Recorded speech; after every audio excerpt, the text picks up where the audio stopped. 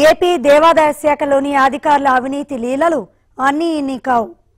Eight eight eight జీవోకు పాత రేసి అడ్డగోలుగా ప్రమోషన్లు పొందిన తీరుపై టీవీ ఫైవ్ వరుస కథనాలు ప్రసారం చేసింది.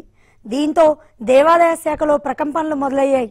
అక్రమంగా పదవులు పొందిన వారి సీట్లు కదులుతున్నాయి. అటు ఈ మాఫియా దెబ్బకు ప్రమోషన్లు రాకుండా పోయిన బాధితులు టీవీ ఫైవ్ని ఆశ్రయిస్తున్నారు.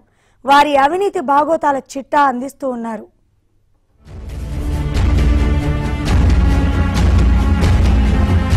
ఏపీ దేవాదాయ శాఖలో ప్రకంపనలు ప్రమోషన్లలో అవినీతిపై టీవీపై వరుస కథనాలు. దేవాలయాలనే అక్రమాలకు అడ్డాగా మార్చుకొని పైసలతో ప్రమోషన్లు కొట్టేసిన తీరుపై టీవీపై దేవుడా పేరుతో ఎక్స్క్లూజివ్ స్టోరీ ప్రసారం చేస్తుంది. నిబంధనల ఉల్లంఘన ఏపీ దేవాదాయ శాఖలో మామూలైపోయింది. అడ్డదారిలో పదోన్నతులు పొందడం అలవాటుగా మారిపోయింది. ట్రిపుల్ ఎయిట్ జీవో ప్రకారం ఒక ప్రమోషన్ పొందాలంటే మూడు నుంచి ఐదేళ్ళ సర్వీస్ ఉండాలి. అంతేకాకుండా జిల్లా స్టేట్ లెవెల్లో సీనియారిటీని పరిగణలోకి తీసుకోవాలి. కానీ ఇలాంటి నిబంధనలకు ఎప్పుడో పాతరేశారు. పైసలిచ్చిన వారికే ప్రమోషన్ అనే పద్ధతి ఫాలో అవుతున్నారు. అర్హతలు లేకుండా కమిషనర్లుగా ఎదిగారు.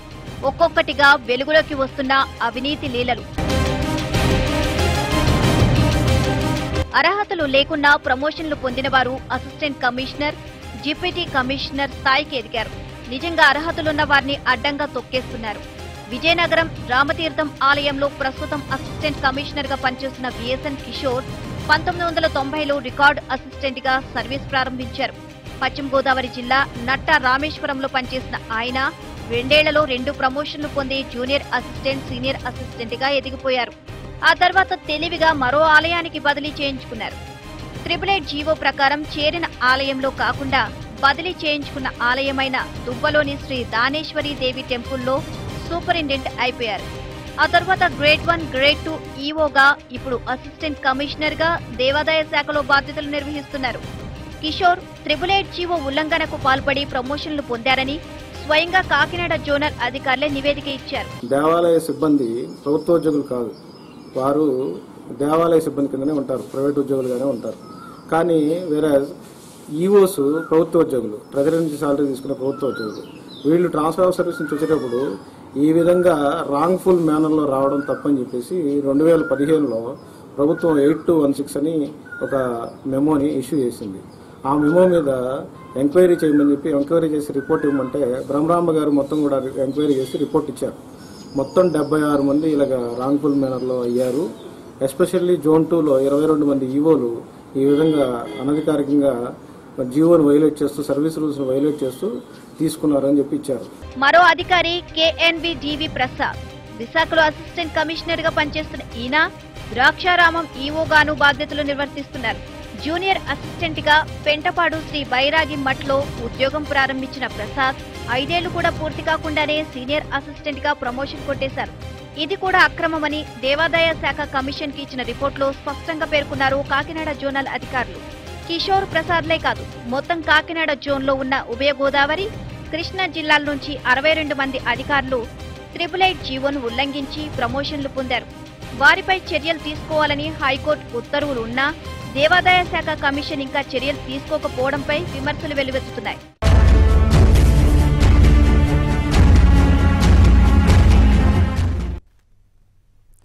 అక్రమ ప్రమోషన్ల వివాదం కొనసాగుతూనే ఉంది. మళ్ళీ కొత్తగా పదోన్నతుల జాబితా వస్తున్న నేపథ్యంలో దేవాదాయ శాఖ కమిషన్ ఏం చేయబోతోంది? ట్రిపుల్ ఐట్ జియోను పరిగణలోకి తీసుకుంటారా? అర్హులకే పదోన్నతులు ఇస్తారా? లేక మళ్ళీ అనర్హులనే అందలమెక్కిస్తారా?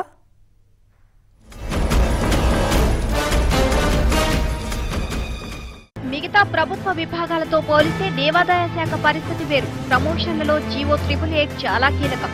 కింది స్థాయి ఉద్యోగాలన్నీ ఆయా దేవాలయ పరిధిలోనే ఉంటాయి. అందుకు అనుగుణంగానే ప్రమోషన్లు కల్పించాల్సి ఉంటుంది. కానీ ఎక్కడా అలా జరగడం లేదు. త్రిపుల్ ఎయిట్ జీవోను గుట్ట దాఖలు చేశారు. ఇందుకు కొందరు ఉన్నతాధికారులే కారణమన్న వాదన బలంగా వినిపిస్తోంది. అందుకే ఏళ్ళ తరబడి అర్హులకు అన్యాయం జరుగుతూనే ఉంది. అనర్హులు అందలమెక్కుతూ అధికారాన్ని చెలాయిస్తున్నారు. ఇప్పుడు రాబోయే సీనియారిటీ లిస్ట్ లోనూ ఇలాంటి అక్రమాలే జరిగి ఉంటాయని పలువురు ఉద్యోగులు ఆందోళన వ్యక్తం చేస్తున్నారు. ప్రస్తుతం నిర్దవోలు కోట సత్యమ్మ ఆలయంలో సూపరింటెండెంట్గా ఉన్నారు డి. సురేష్ బాబు. ఈయన సోదరుడు అసిస్టెంట్ కమిషనర్. దీంతో దేవాదాయ శాఖలోని ఉన్నతాధికారులతో పరిచయాలు ఏర్పడ్డాయి. ఇప్పటికే పలు అక్రమ ప్రమోషన్లు పొందిన సురేష్ బాబు ఇప్పుడు కొత్తగా రాబోయే లిస్ట్ లోనూ తన పేరు ఉండేలా పావులు కదిపారన్న ఆరోపణలు ఉన్నాయి. ఇలా త్రిపుల్ ఎయిట్ జీవోను ఉల్లంఘించిన వారే మరోసారి పదోన్నతులు పొందే ఛాన్స్ ఉంది.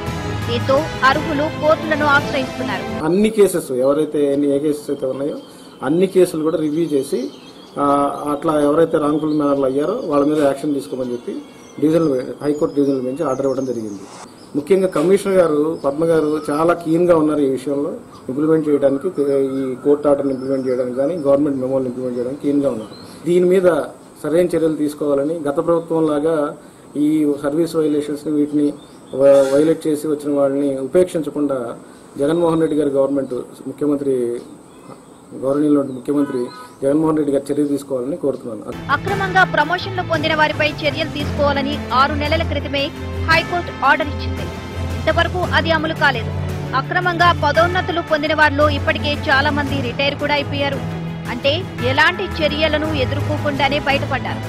ఇలా కాకినాడ జోనల్ పరిధిలోనే నలుగురు అధికారులుంటే విశాఖ కర్నూలు గుంటూరు జోన్లలోనూ చాలా మందే ఉన్నారు. అడ్డదారుల్లో అందలం ఎక్కారని తెలిసినా ఎలాంటి చర్యలు తీసుకోలేదంటే ఏపీ దేవాదాయ శాఖలో నిర్లక్ష్యం ఏ స్థాయిలో ఉందో ఊహించుకోవచ్చు.